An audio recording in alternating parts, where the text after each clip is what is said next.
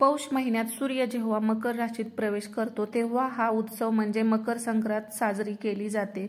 तर आता इंग्रजी महिन्यानुसार म्हणजे इंग्रजी नवीन वर्षात येणारा पहिला सण मकर संक्रांती असला तरी आपलं नवीन वर्ष हे पाडव्यापासून चालू होतं. पण आता जानेवारीतला पहिला सण हा स्त्रियांसाठी खूप मोठा आणि तेवढ्याच सुवासनी स्त्रिया असतात या सणाची आतुरतेने वाट बघत असतात. तर पहिला सण आहे तो मकर संक्रांतीचा. तर ह्यावेळी ही संक्रांत आलेली आहे ती सोमवारी पंधरा जानेवारीला दोन हजार चोवीस रोजी आहे आणि सूर्योदयापासून सूर्यास्तापर्यंत आहे. त्यामुळे आपण पूर्ण दिवस ही संक्रांत साजरी करू शकतो. तर आता आपल्याला हा प्रश्न पडतो की मकर संक्रांत म्हटलं की सर्व स्त्रिया म्हणजे त्याची आतुरतेने वाट बघत असतात आणि तयारी करत असतात. तर ह्या सणाला आपण साडी कोणती घालायची कोणत्या बांगड्या किंवा पूर्ण आपली ज्वेलरी कशी पाहिजे ह्याची तयारी त्या अगोदरच पंधरा दिवस तरी करत असतात. तर सर्व सुवासनी महिलांसाठीचा हा खूप मोठ्या प्रमाणे म्हणजे त्या आतुरतेने या सणाची वाट बघत असतात आणि तेवढ्याच ह्याने उत्साहाने हा सण आपल्याकडे साजरा केला जातो.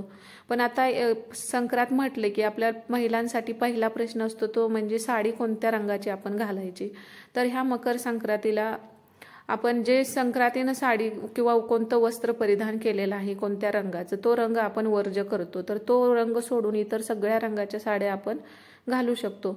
तर चला तर वेळ न लावता आपण पाहूयात की या संक्रांतीला आपण कोणत्या रंगाच्या साड्या घालू शकतो किंवा कोणते रंग शुभ आहेत ते अगोदर पाहूया. तर संक्रांतीसाठी बघा किंवा सगळ्या सुवासिनी महिलांचं किंवा सुवासिनीचं रंग म्हणजे प्रतीक मानलं जातं ते म्हणजे हिरवा रंग.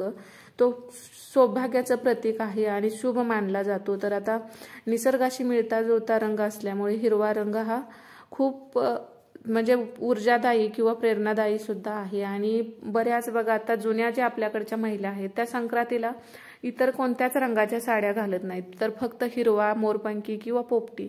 म्हणजे अशा पद्धतीच्याच त्या काठपदराच्या साड्या घालतात. म्हणजे ह्या रंगाला एवढं महत्त्व आहे की कोणतंही सुवासनीचं कोणतंही काम असू द्या त्या हिरव्या रंगानं करतात. आता देवीची ओटी भरायची असली तरी सुद्धा आपण हिरव्या रंगाचाच अगोदर विचार करतो. म्हणजे हिरवा रंग आपल्याकडे खूप शुभ मानला आहे किंवा तो सौभाग्य प्राप्तीचं प्रतीक मानलेलं आहे. त्यामुळं कोणत्याही शुभ कार्याची सुरुवात करताना आपल्याकडे तर हिरव्या रंगाने केली जाते. त्यामुळे हिरवा रंग शुभ आहे आणि तो रंग तुम्ही अवश्य घालू शकता. आणि बऱ्याच महिला आपल्याकडे जास्त म्हणजे संक्रांतीचा मेन कलर हिरवा असाच आहे आणि हिरव्या रंगाच्या जास्त साड्या परिधान केल्या जातात. आणि त्यात पण हिरव्या रंगाची आणि काठपदराची साडी आपल्याकडे जास्त करून सुवासनी घालतात संक्रांतीच्या सणाला तरी. कारण वाण घेताना काठपदराची साडी घातली जाते आणि त्यात तर हिरवा रंग असावा. असं सगळ्या सुवासनीचं पण म्हणजे म्हणणं असतं किंवा त्या परंपरेनुसार तीच साडी घालत आलेल्या आहेत. तसंच लाल रंग सुद्धा या दिवशी तुम्ही घालू शकता. तर लाल रंग सुद्धा लक्ष्मीचं लक्ष्मीचा आवडता आहे आणि हा रंग सुद्धा उत्साह उमंग याचं प्रतीक आहे. तर माता लक्ष्मीला सुद्धा हा लाल रंग प्रिय आहे. तसेच बघा आपण देवाची पूजा करत असतो किंवा त्या पाटावरती सुद्धा लाल रंगाचं वस्त्र टाकत असतो. तर लाल रंग सुद्धा तुम्ही घालू शकता. तसेच आपण बघा जे कुंकू हळदी कुंकू यूज करतो त्या कुंकूचा रंग सुद्धा लाल असतो. त्यामुळे लाल रंग सुद्धा सौभाग्याचंच प्रतीक मानलं जातो. तर हा लाल रंग सुद्धा या दिवशी तुम्ही घालू शकता. तसेच पिवळा रंग सुद्धा शुभ मानला जातो. तर पिवळा रंग हा प्रकाशाचं प्रतीक आहे.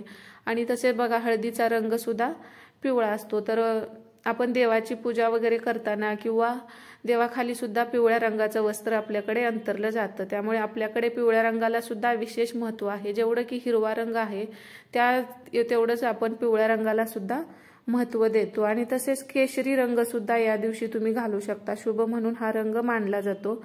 तर केशरी रंग हे सूर्योदयाचं प्रतीक आहे. तर त्या ज्ञान सेवेचं प्रतीक सुद्धा हा केशरी रंग आहे. तर केशरी रंग रंग तुम्ही अवश्य घालू शकता. तर आता बघा दुसरा रंग म्हणजे पाच रंग आपण शुभ मानलेले आहेत. त्यातला शेवटचा रंग आहे तो गुलाबी. गुलाबी रंग हा प्रेमाचा प्रतीक आहे आणि आनंदाचं सुद्धा प्रतीक आहे. तर ह्या रंगाने मन प्रसन्न होते सुख समाधान सुद्धा मिळते. त्यामुळे गुलाबी रंग सुद्धा या दिवशी तुम्ही घालू शकता.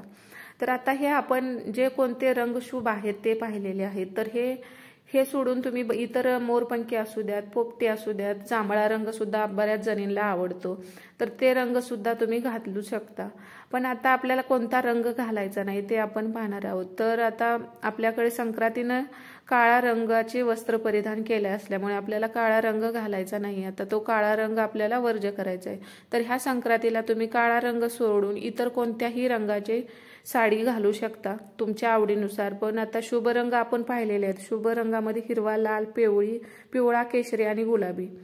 हे पाच रंग सुद्धा तुम्ही घालू शकता. आणि या व्यतिरिक्त तुमच्याकडे ज्या साड्या आहेत किंवा जो रंग तुम्हाला आवडतो तो रंग तो सुद्धा तुम्ही म्हणजे बाकीच्या इतर रंगाच्या साड्या घालू शकतात तर आता राहिले तो म्हणजे बांगड्या. तर आपल्याकडे बघा सुहासनीचं प्रतीक म्हणजे बांगड्या. ह्या हिरव्या बांगड्या जास्त करून घातल्या जातात.